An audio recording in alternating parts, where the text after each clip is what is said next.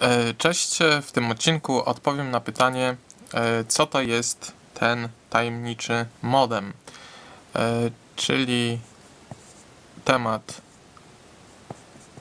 dzisiejszego odcinka to jest modem. E, Więc modem jest to skrót, jest to połączenie, jak to się mówi, jest to skrót dwóch, e, można powiedzieć, e, pochodzi od dwóch, to nie jest skrót, od dwóch takich słów. MO to jest od modulator, a DEM to jest demodulator.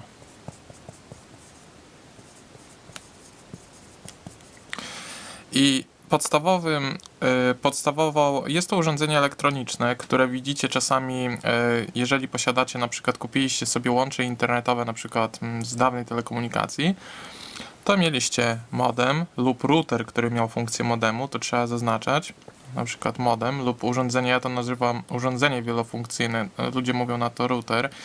Tak naprawdę y, na przykład router plus modem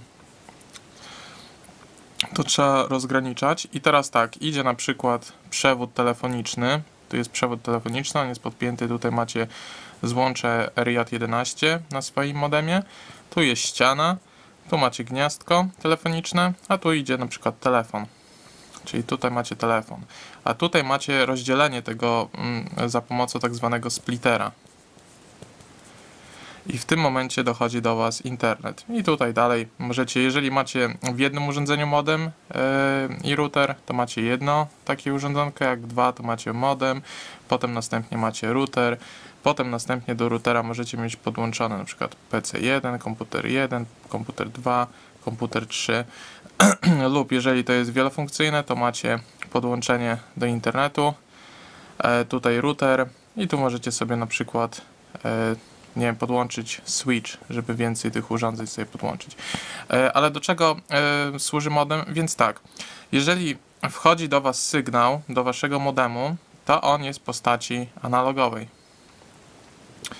Z kolei jak wychodzi sygnał z modemu do Waszej sieci komputerowej, to jest sieć, to tutaj on wychodzi w takiej w takiej formie, czyli cyfrowej, ponieważ komputery rozumieją w 0 jedynkach. Natomiast tutaj macie częstotliwości. I teraz, czyli modem to tak naprawdę jest, e, e, jak sama nazwa mówi, modulator i demodulator. Jeżeli zamieniany jest sygnał cyfrowy, czyli ten sygnał jest zamieniany na formę analogowego, to następuje tak zwana modulacja. Natomiast jeżeli analogowy sygnał jest zamieniany na cyfrowy, to następuje demodulacja. I to wszystko. I teraz taki, po takim wstępie macie różne modemy do różnych zastosowań. Takie, takie standardowe modemy to są na przykład modemy telefoniczne, czyli modem telefoniczny.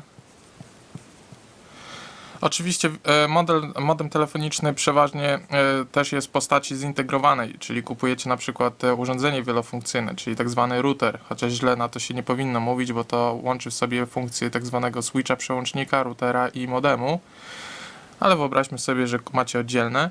Jest to taki o na przykład prostopadłościan, takiej wielkości, takiej wysokości. Jego podpijacie sobie tutaj do, e, za pomocą wtyku RJ11. To jest zwykły wtyk e, gniazdko e, telefoniczne, wtyk telefoniczny. A z drugiej strony do waszej sieci LAN, Local Area Network, czyli do waszej sieci komputerowej.